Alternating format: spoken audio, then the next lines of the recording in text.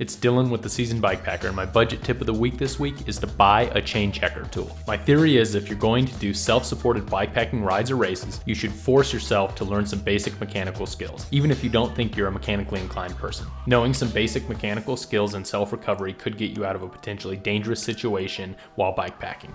So this budget tip of the week is to buy and use a chain checker tool. This inexpensive tool helps you measure the stretch on your chain. This model works with single speed chains and most 5 to 12 speed chains. Park Tool says for 5 to 10 speed chains, replace the chain just as the 0.75 side fits flat into the chain.